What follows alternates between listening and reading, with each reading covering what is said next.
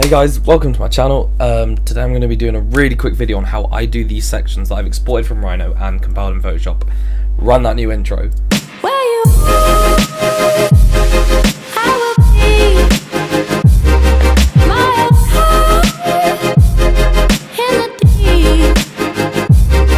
Where you are, I will be. Okay, so here we are in Rhino.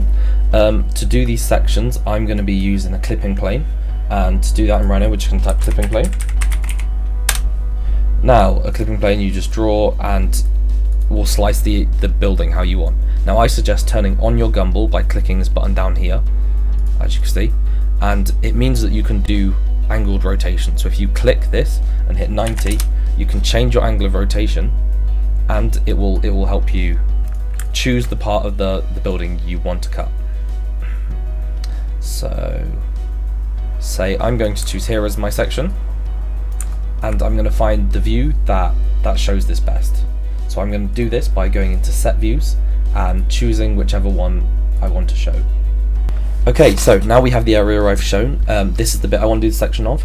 I'm going to change it to rendered view.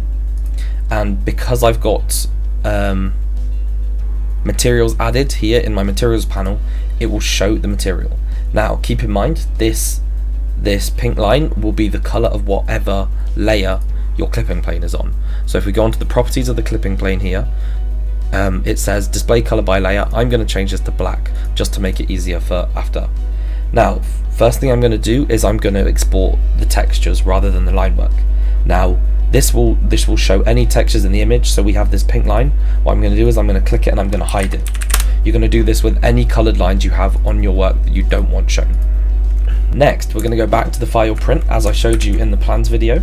Command P, uh, Command or Control P. I'm um, you you will pick your paper size, portrait or landscape, and I'm going to change my resolution to 300. Now, unlike vector output, which will do line work, we're going to choose raster output, and you want to make sure you're on print color. This will will show all the textures as it is. We're going to also make sure it's to the right scale. I want mine in 1 to 200 and I'm just going to hit print and save this wherever wherever I want. So if I do um, small section 1. Okay, now we've got that section, we're going to export the line work. So I'm going to go back to shaded view. This isn't necessary.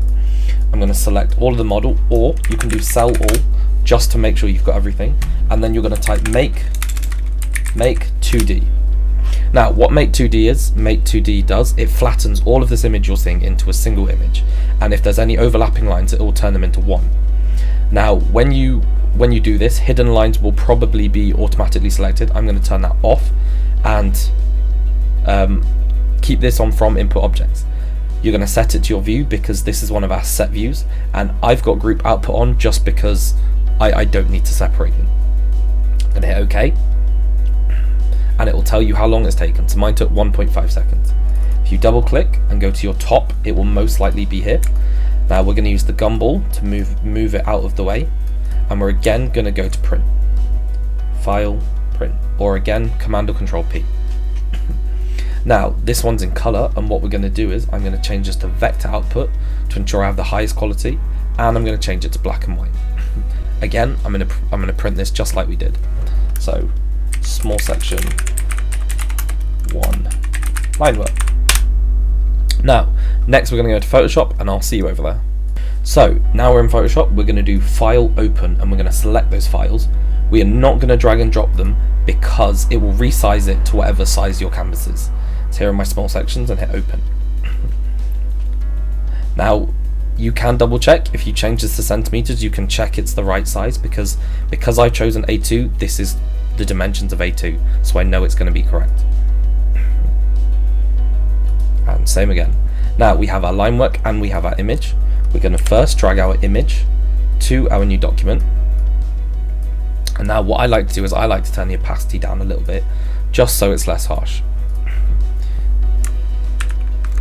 Okay now we're going to take our line work and do the exact same thing.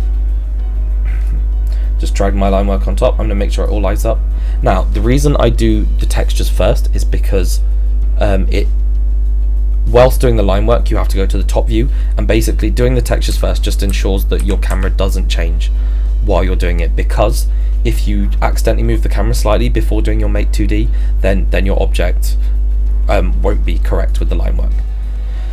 Now, now we've got our line work, what I'm going to do is I'm going to double click on the layer properties and I'm just going to add a small stroke just to thicken up the lines. So after adding that stroke, the other thing I like to do is I like to select the areas that have been cut. You can see this with the thick outline. And if I'm going to hold shift and I'm going to use the magic wand tool and I'm just going to select these areas.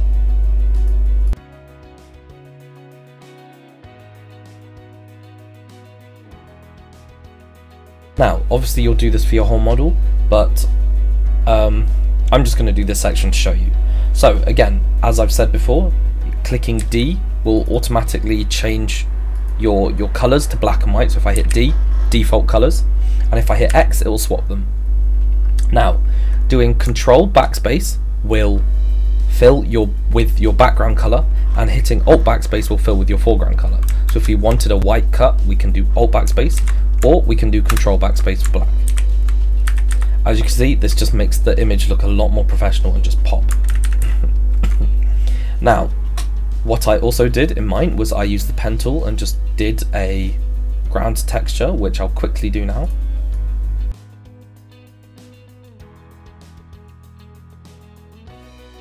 Okay, so now I've done a quick area with the pen tool, I'm going to hold Control or Command and click the work path.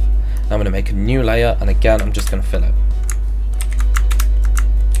There you go, you can see we now have a nice little ground. I'm going to move it up and there you go.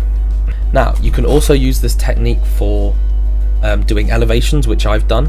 Um, again just make sure you first have um, you don't need your clipping plane this time, so just make sure you've got the correct view, go file, print, raster, make sure you get your textures first, and then you're going to select the object and do make 2D and export the line work.